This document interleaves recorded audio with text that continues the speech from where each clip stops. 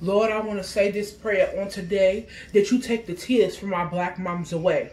That you protect our black melanin men. And that when blue sees black, he sees a helper and not a hand a hindrance that is, though it was a blue knee on a black neck as he screamed out for his mom. Don't you care? Is this Mr. Blue where you come from? Is this what they taught you? Are you remorseful now? Why? Because they caught you? You kneeled in power while he laid in fear.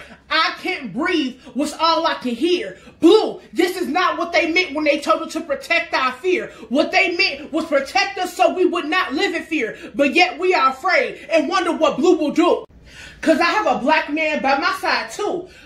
Scream out with me so all the blues can hear. Again, stand up and be proud that God made you this way. We pray for peace, more love, and a brighter day. To all my black mothers that's losing their babies, show them how to get down to their knees and pray and say, God save me. With God in control, the devil cannot win. And in your darkest days, baby, please know that Jesus is a friend. A strong black woman has written this poem just to say, Black Lives Matter and we just want to make it home by the end of the day.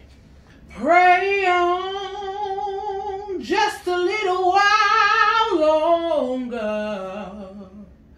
Pray on just a little while longer.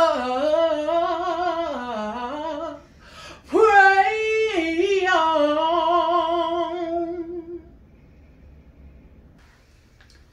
Rest in peace, George Floyd.